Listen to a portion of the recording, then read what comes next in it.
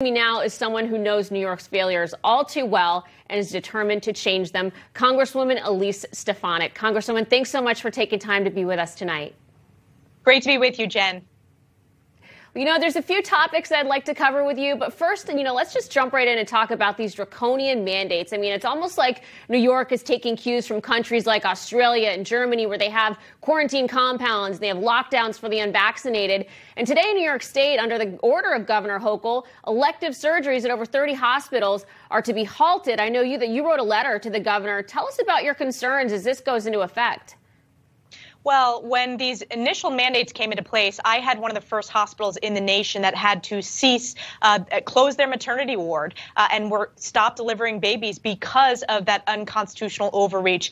And this is at a time when we're already facing a labor shortage and a labor crisis at our hospitals and community health centers. Uh, these individuals put their lives on the line at the peak of the pandemic, and now to penalize them, to punish them for their own individual health choice uh, regarding the vaccine. First of all, it's unconstitutional both in, in New York, uh, but also across the country. It's federally unconstitutional.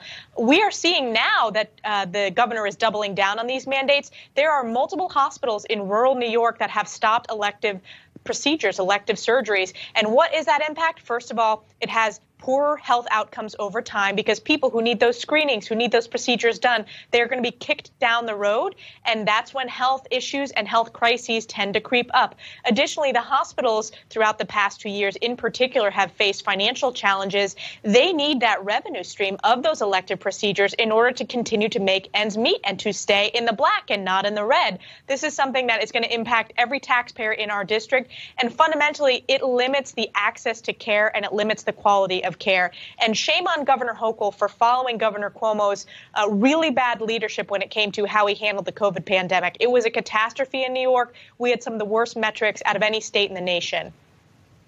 Yeah, and you know, speaking of Cuomo, you've also been very critical of Hochul recently for failing to stick to her promise that she was going to clean house after his departure.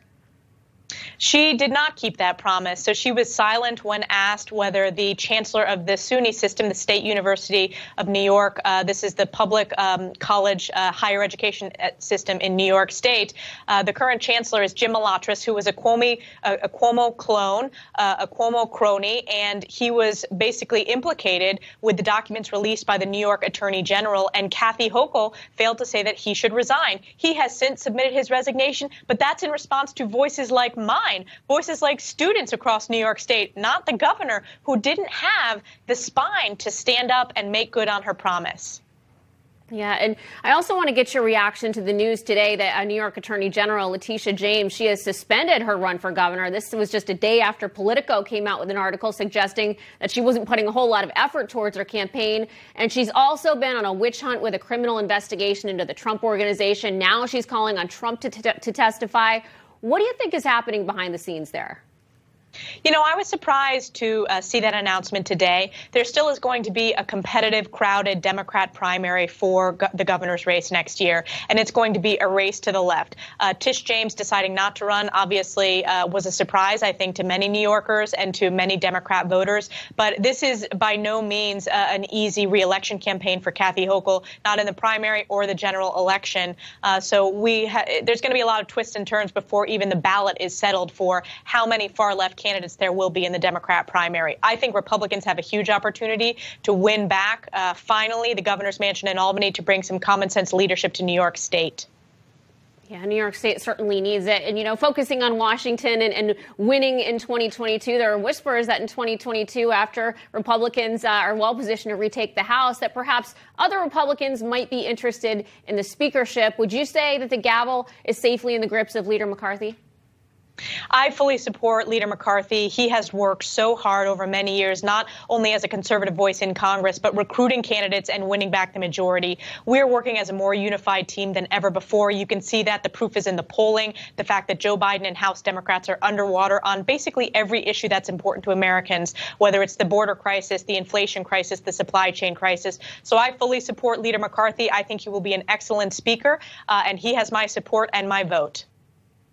And as we look towards 2022 and beyond, just talk to me real quickly. We've only got under a minute remaining, but you know, what's the agenda for Republicans going past 2022?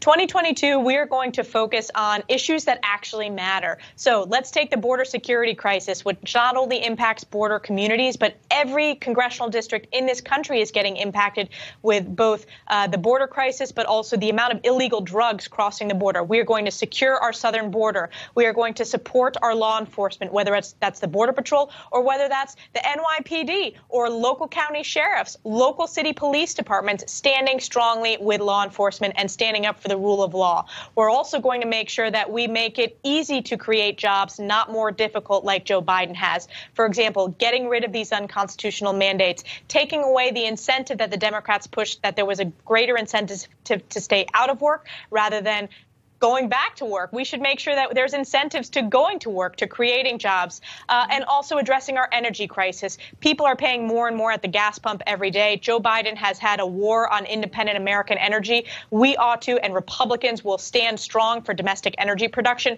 and support American energy. Uh, and we want to go back to being a net exporter when it comes to selling our energy around the world, because that creates tens of thousands of jobs right here in the United States of America.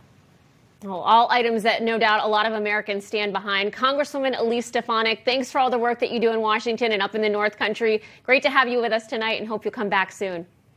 Thank you so much, Jenn.